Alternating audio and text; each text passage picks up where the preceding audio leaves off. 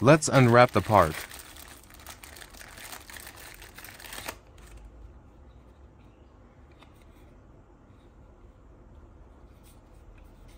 It's made of durable plastic.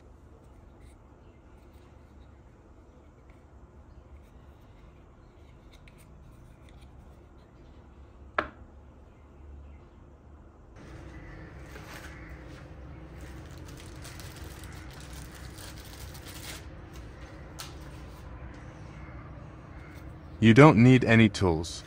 All you have to do is slide the plastic over the terminal.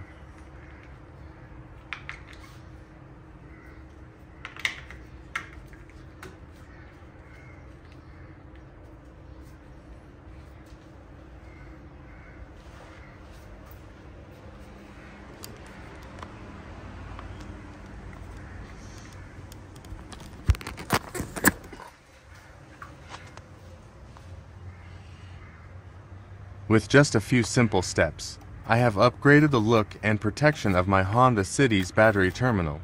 See you all later. Drive safe.